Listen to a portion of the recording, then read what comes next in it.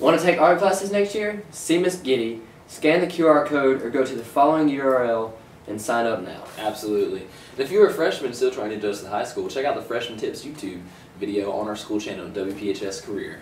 Fantastic, that's a good one. Senior activity sheets will be given for you today. Please turn in these in by November 10th to Jacob Williams or Miss Hughes. If these are not received, your section will be left blank in the yearbook. You don't want that to happen. Absolutely not. Prom fees are $125 if paid by December 16th. After that, the prices go up to $150. Please pay Miss Spoon if you are a junior who plans to attend prom or a senior who didn't attend last year but you want to this year. That's a good one.